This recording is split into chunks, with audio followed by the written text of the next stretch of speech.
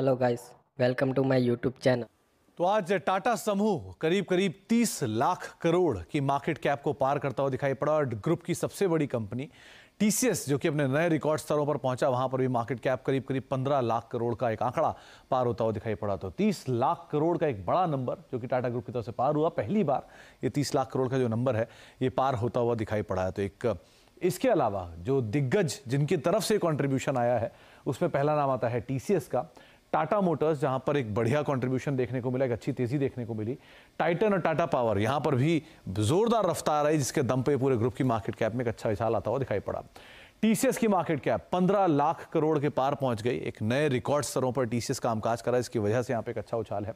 साढ़े तीन लाख करोड़, ये मार्केट कैप हो गई टाटा मोटर्स प्लस डीवीआर की, करीब करीब साढ़े तीन लाख करोड़ के आसपास ये कामकाज कर रही है, और एक जोरदार तेज़ी नंबर्स के बाद टाटा मोटर्स में भी देखने को मिली है। इसके अलावा ग्रुप में 15 लाख करोड़ के साथ टीसीएस टाटा मोटर्स डीवीआर करीब साढ़े तीन लाख करोड़ के आसपास की मार्केट कैप टाइटन सवा तीन लाख करोड़ के आसपास की मार्केट कैप इस कंपनी की पहुँचते हुए दिखाई पड़ी टाटा स्टील पौने दो लाख करोड़ की मार्केट कैप और ट्रेंड एक शानदार तेज़ी में स्टॉक ऑलरेडी कामकाज कर रहा है, सवा लाख करोड़ के आसपास की मार्केट कैप यहाँ पर भी पहुँचते हुए दिखाई पड़ी है। पिछले दस सालों में अगर इस ग्रुप के कुछ स्टॉक्स जो कि मेगा रिटर्न देकर गए हैं, उसमें टाटा एलेक्सी सैंतीस गुना रिटर्न ये दे चुका है पिछले दस सालों में। ट्रेंड करीब करीब 28 गुना का रिटर्न यहाँ आ चुका है।